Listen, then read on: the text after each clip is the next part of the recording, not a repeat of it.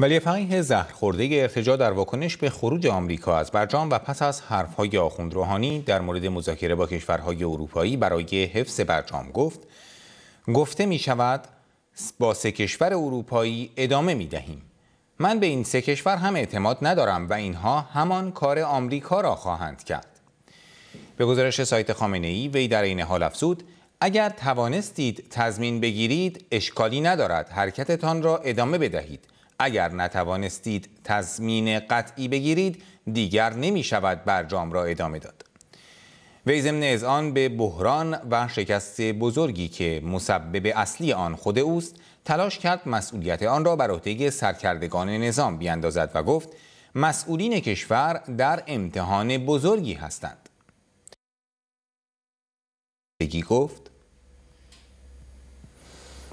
دیشب شنیدید. رئیس جمهور آمریکا حرفهایی زد حرفهای سخیف و سبکی زد.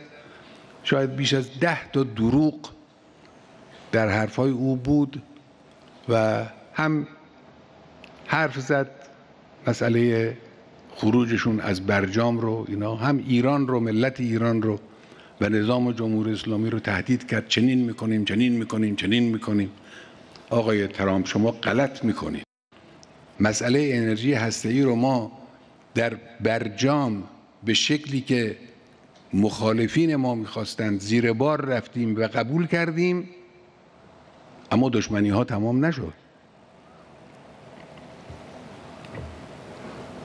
مسئله حضور ما در مناطق خاورمیانه رو مطرح می‌کنن مسئله موشک رو مطرح می‌کنن. اگر اینا رو هم شما اگر فردا اعلام کنید ما موشک دیگه درست نمی‌کنیم. یا از فلان مقدار برد بیشتر موشک تولید نمی‌کنیم. این قضیه تمام خواهد شد اما یه قضیه دیگه درست خواهد شد. یه موضوع دیگه رو مطرح می‌کنن دعوا دعوای بنیادی است. با نظام جمهوری اسلامی مخالفن. اینجوری خیال نکنن که آقا شما چه اصراری دارید که سر فلان قضیه می استید که می آمدن بعضیا به ما می گفتن خدا از سر تقصیراتشون بگذره.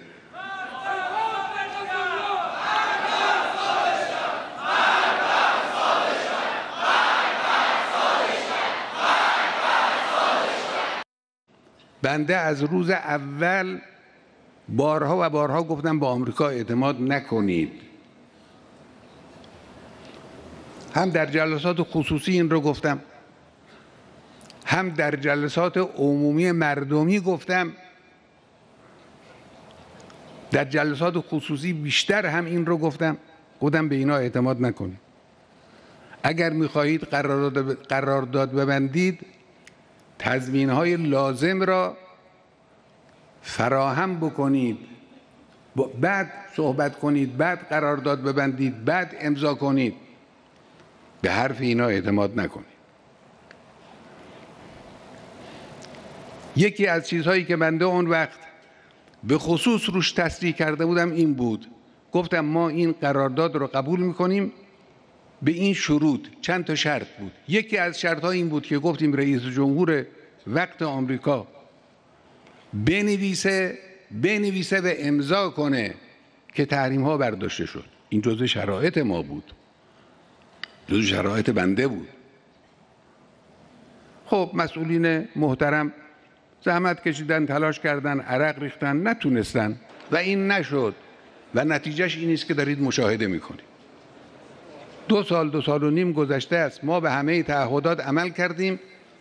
این مردک میاد بیرون میگه که من قبول ندارم و خارج میشم و چنین می‌کنم و چنان می‌کنم.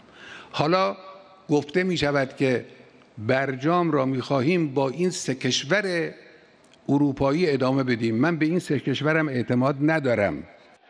من میگم به اینام اعتماد نکنید. می‌خواهید قرارداد بگذارید تضمین به دست بیارید. تضمین واقعی تضمین عملی. ولی فردا اینا هم همون کار رو خواهند کرد که آمریکا کرد به شیوهی دیگه. روش های سیاسی و دیپلماسی روش های ویژه است. گاهی لبخند می‌زنن در حال لبخند خنجر رو تا دسته تو سینه انسان فرو میکن دیپلماسی اینه دیگه. با اخلاق خوش با تعریف و تمجید بله شما خیلی خوبید شما آقایید. شما قرارداد به هم نمی‌زنید ما می‌دونیم. اگر چنانچه توانستید تضمین از اونها بگیرید به طوری که بشود اعتماد کرد خب اشکال نداره حرکتتون رو ادامه بدید. اگر نتوانید چنین تضمین قطعی را بگیرید که بنده هم بسیار بعید می‌دونم که بتوانید تضمین بگیرید اون وقت دیگه نمیشه اینجوری حرکت کرد و اینجوری ادامه داد.